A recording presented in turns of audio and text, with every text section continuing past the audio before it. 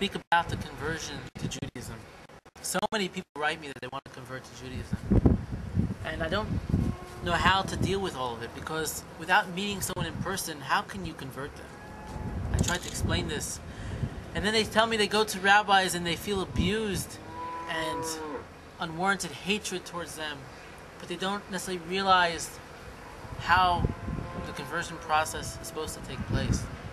And I will try to explain it and shed light and hopefully mend some of the wounds that you might have experienced while trying to convert to Judaism. You have to understand that Hashem did not seek out people to convert to Judaism. He picked the Jewish people and he gave them the Torah, and the other nations did not want the Torah. And Hashem was fine with that. He requested of them that they would just hold by the seven laws of Noah. And so, for those that that's not good enough, they feel empty and they need more. The conversion process could be something to think about, but it's not for everyone. And we discourage it because, how do you say this? If a person is not going to go all the way in something, 100%, then it's better that they don't go in that way when it comes to something like conversion. Because the Jewish people already have, unfortunately, students, congregants that are not doing all the laws like they should. And we don't need more of it. Already, a person who a Jewish person transgresses one of the 365 commandments, it pulls the entire Jewish nation down. It hurts us tremendously. And so, for you to convert and not convert to Orthodox, to the full manners of the law, is only to hurt the Jewish people. And we don't want that. And Hashem is, all the other movements, all the other religions, they convert people, they seek this out. They find this a joyous, joyous event. But the Jewish people, we're not seeking this out because the people that are right, that should convert, in their heart, they will not be able to live without it. To such an extent that when a rabbi, they go to the rabbi and the rabbi tells them, I'm sorry, I don't want to convert you, it's, you, I don't think you're ready. They wouldn't be able to take no for an answer. They're so belongs with the Jewish people, and they know it, and they're willing to go 100% to for Orthodox. And this is how the rabbis know that this person should make it. And unfortunately, there's a lot of politics involved today because you know the even Israel does not accept conversion so quickly anymore because there were tens of thousands of Russians that came in who weren't even Jewish that just made fake conversions just to come and live here and get out of the USSR. And they're very picky about the conversions. But maybe it's rightfully so, in that this difficulty, this difficulty makes it so that the people who are not really meant to be a Jewish person, they don't convert. They stick with the seven laws because there's nothing wrong with the seven laws. It's enough light for the non-Jew.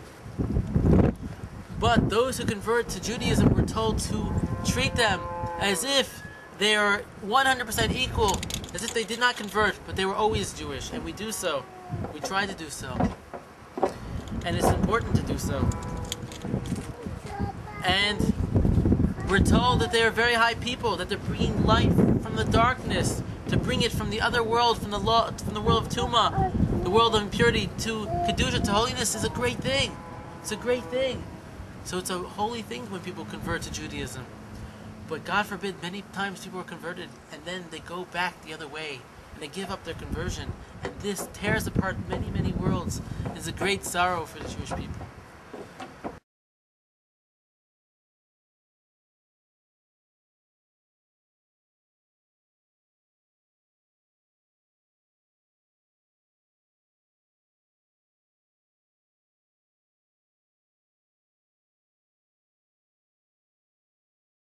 And so you might ask, what is the process of conversion? What do you have to do to be a Jewish person? And so the study begins with the learning the Bible, learning the halachos, the Jewish laws that a person has to, to keep, like the Shabbos, the laws of Sabbath. And it takes years of learning, and a person should not learn this all on their own. They have to learn from a teacher, from a guide,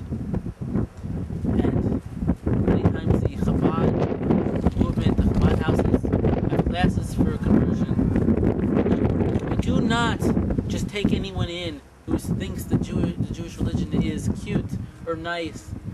And we tell them that it's very hard to be Jewish. You have to keep all the laws. To keep the Shabbos. You can't just keep the laws that you want, they don't want. Most people convert, that's what they end up doing. They only keep some of the laws, the ones that are easy for them. That's not Judaism. If that's what you're going to do, don't convert. Please, don't. Like I said, it, it hurts the Jewish people. If a person comes into the religion only to sin, we're talking about going from seven laws that you have to keep to 613. My friends, if you're not keeping the seven, don't go for 613. You can't keep 612, my friends. You have to keep 613. And so this is the process of conversion. Takes years of time and devotion, a total change of the life. The women have to keep more separate from the men follow, follow the laws of Tahara, purity. And men, they have to do this as well.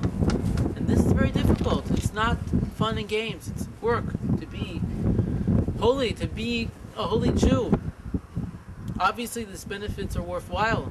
We, a Jewish person, is, should be happy as a Jew that he has these commandments and that he can get closer to God. Because certainly, a Jewish person is closer to Hashem and can do this. Now, one thing that bothers me always is that a lot of times a person wants to convert and they start learning Kabbalah.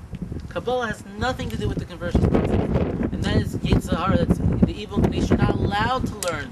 Half the things on my website, I tell you, I beg you, please don't learn them if they don't if it doesn't pertain to the laws of conversion. It's wrong to learn them. You're hurting me, you're hurting the Jewish people, you're hurting yourself. You're bringing too much light into your body, into your soul, and it's wrong. But learning the laws for conversion that a person needs, that's important. That's a good thing. Learning seeing some of the videos, reading some of the teachings that are just on spirituality, some of them, that, some of that is okay, and it could be good to, towards your conversion process. But please don't go too far. Learning the svarim that don't pertain to what you need. Learn what is what the rabbis who are guiding you in your conversion tell you to learn.